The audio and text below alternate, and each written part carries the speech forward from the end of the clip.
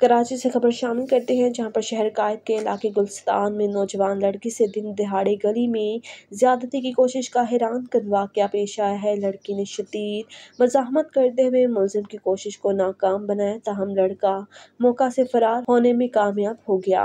तफसलात के मुताबिक ये वाक़ गुलस्तान जोहर ब्लॉक चार मुगल हजारा गोट के करीब पेश आया, जहाँ दो रोज़ कबल डाह गुजरती लड़की के साथ एक शख्स ने इंतहाई गैर इखलाकी हरकत करते हुए ज्यादती की कोशिश की।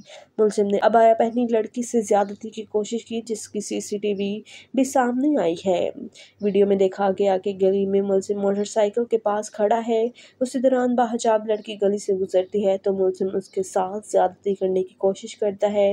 लड़की के मजामत करने पर मुलजिम मोटरसाइकिल पर बैठ कर फरार हो जाता है। मुलजिम की मोटरसाइकिल पर नंबर प्लेट भी नहीं लगी हुई थी, जबकि मुलजिम ने शनाख्त छुपाने के लिए मास्क भी पहना हुआ था। पुलिस का कहना है कि अभी तक किसी ने वाक़ से मुतलिक शिकायत नहीं की, सीसीटीवी वीडियो की मदद से तहकीकात कर रही हैं।